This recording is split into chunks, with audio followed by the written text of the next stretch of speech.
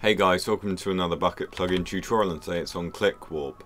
So this is a really awesome plugin which allows you to create warps, add lores to them and um, give people a particular item and when they right click it there is a list of all the warps there and there's a few other features and I will show you them in a few moments. So first and foremost, how do you create a warp? Well, you um, do forward slash set warp followed by uh, the name of the warp, the item that will pop up in the GUI, and the price if you want to have an economy. So uh, this is going to be called um, tree, and the item is going to be sapling. Oh, what ID is a sapling? That's a very good question. Six.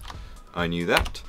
Um, and the price is going to be nothing because I don't have an economy on this server and it has been created. So there it is um, and it does not have a lore at the moment. So we can change this by doing edit warp and that gives us three options. So we can change the item ID the lore and the price. So um, let's, let's, change uh, the lore to begin with. So warp tree and the lore is going to be um, uh, and a so color codes actually work uh, there underscore where you want the space isn't actually a colon um, for a new line. And then we have to do a color code again.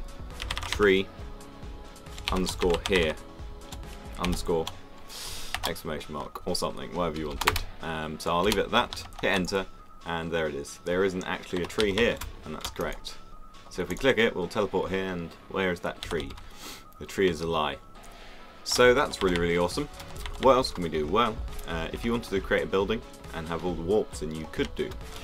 And you can edit the um, look, well, how the sign looks in the config. So that's pretty straightforward. So warp on the first line. Second line is warp name. So there's warp tree.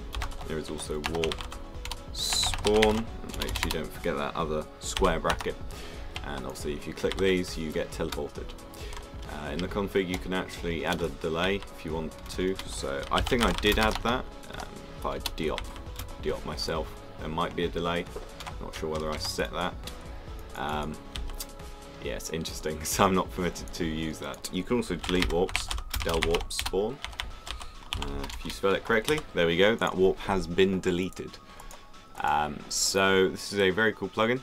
Um, it has another cool feature, which I'm going to show you we do in TP, that would pop up a GUI with everyone's uh, username in, and you could teleport to anyone on the server, which is cool.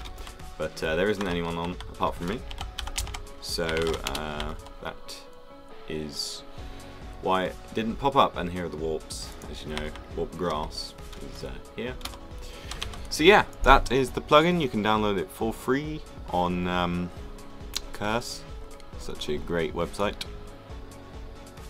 And um, yeah, subscribe, like, comment, and I will see you in the next video.